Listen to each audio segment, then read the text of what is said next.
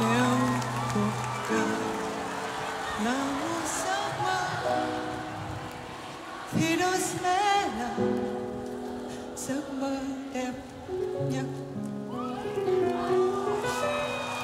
nếu cuộc đời là một giấc mơ thì đó